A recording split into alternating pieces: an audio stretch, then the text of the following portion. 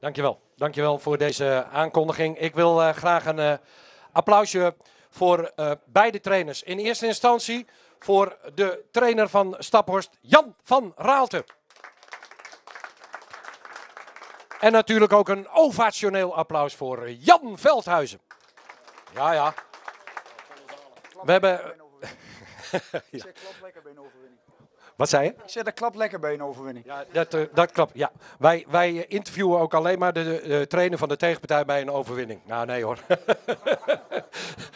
kan je niet meer vaak staan. Bij, bij, uh, bij de trainer van uh, die, dat was ook een prima interview.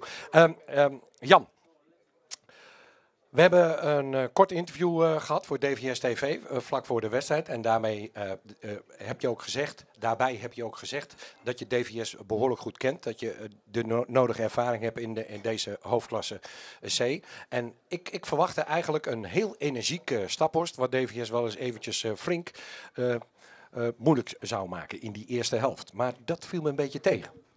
Ja, dat klopt. Dat, uh, die intentie was er ook zeker wel. En de bedoelingen en de afspraken die we daarin hadden gemaakt, uh, die, uh, die werden alleen niet op een goede manier uitgevoerd. Dat had deels, lag daar aan onszelf.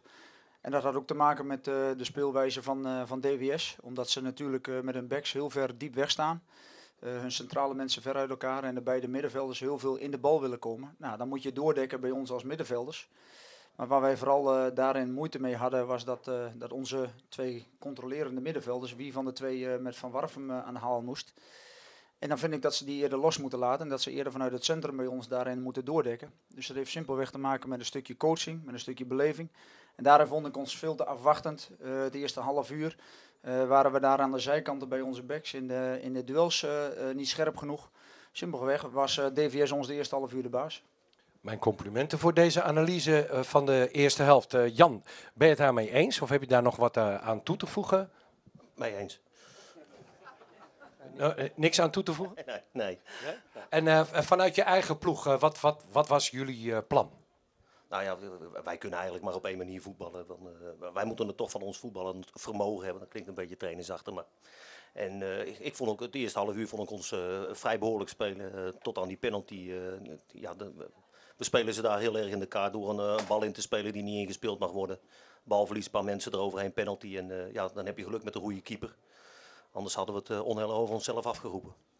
Ja, inderdaad. En nou, dan, dan, krijg je die rust.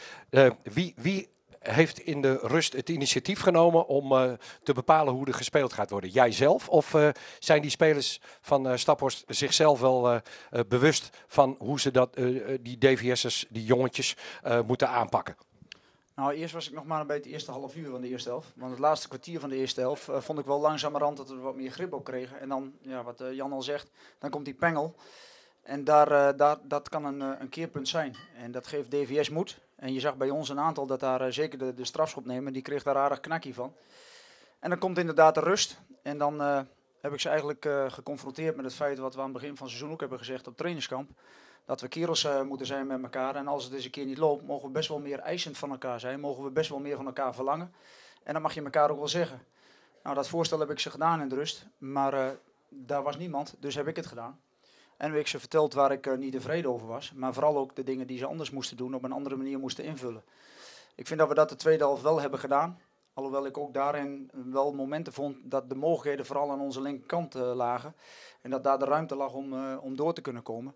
En dan blijven we toch een aantal momenten in de wedstrijd aan de rechterkant uh, doorvoetballen, terwijl het daar eigenlijk veel meer vast zat.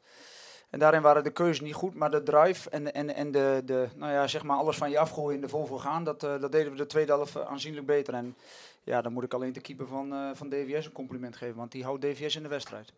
Ja, inderdaad. Daan Huiskamp, nogmaals, jongen. Man of the match. Ja, fantastisch natuurlijk, maar niet alleen de keeper. Ik vond dat de verdediging ook goed stond, Jan.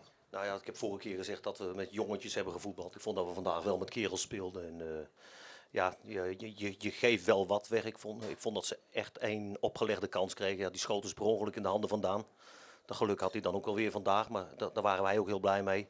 En verder uh, ja, heb je altijd de kans dat er een bal goed valt. En, uh, ja, en dan 1-0 best tricky. En, wij waren heel erg blij dat we een paar minuten voor tijd die tweede nog in konden prikken. En, eh, en, en dan mag je echt de handjes dichtknijpen. Je, je hebt volgens mij een minuut of 25 met 10 man moeten spelen. Ja, dan, eh, dan is het heel erg lastig en eh, dan, moet je behoorlijk wat arbeid verrichten. En dat hebben we gedaan. Ik mag ook wel zeggen dat dat een, compliment op zijn plaats is voor de jonkies. Joran van Zanten noem ik onder andere, die toch Richard Terpstra moet doen vergeten. Nou, probeer dat maar eens. En dan in die slotfase Jordi. Ja, nou dat is zo. Nou, wij, wij hebben het volste vertrouwen in die jongen. Dat eh, met name Joran eh zijn eerste start eh, dit seizoen. En eh, nou, nou, die jongen is geduldig geweest, 19 jaar. En als je dan ziet op wat voor volwassen manier die voetbalt, dan, ja, daar zijn we hartstikke blij mee. En ja, Jordi doet het leuk natuurlijk. Als je vijf minuten mee mag doen en je ziet er een bal in, doet het hartstikke goed. Ik ben daar ook he- heel erg blij mee. Eh, Jan, eh, de volgende tegenstander van jullie, wie zal dat zijn? Dat is Flevo Boys thuis aankomende zaterdag. Nou, dan weet je wat je te doen staat, hè? Ja, Groningen gaan bellen en zorgen dat ze er een eh, spannend potje van gaan maken aankomende woensdag. En een verlengingje erachteraan zou het mooiste zijn, zodat eh, de pijp leeg is. Maar kijk, je kunt kijken naar je tegenstander en, eh, en hopen dat hij dit en dan hopen dat hij dat. Maar je moet het uiteindelijk, en dat is vandaag ook wel gebleken, je moet het gewoon zelf doen. En als we gewoon vanaf het begin daarin wat eh, ja, meer bravoure hadden gehad, meer de baas hadden willen moeten zijn op het middenveld. Ja, dan had je vandaag de wedstrijd eh, tot een veel beter resultaat kunnen eh, eindigen. En ja, de tweede helft had je eh, eh, recht gehad op een punt. Maar eh, ja, je krijgt niet altijd wat je verdient, hè? Ja, inderdaad. Ja. Eh, Jan Veldhuizen, volgende tegenstander. WHC, En eh, ja, heel verrassend. 2-2 tegen Flevo Boys. ja, dat is knap. Ja, ja. Ik ben er niet bij geweest. eh. Ja. Nou, die, de ploeg eh, groeit eh, kennelijk, want eh, tegen Drachten ver, ver- ver- ja, vergaten ze het eigenlijk. eh, namens maar een 1-0 voorsprong. Maar goed, Eh, Jan van Raalte, ik wil je ontzettend eh, bedanken voor het feit dat je hier dat eh, interview hebt, eh, deze analyse hebt gegeven. Hartstikke goed. Veel succes eh, met je ploeg. Ja, het geldt voor jullie wel hetzelfde. Oké, bedankt. Jan, jij ook. Bedankt. Een biertje of niet?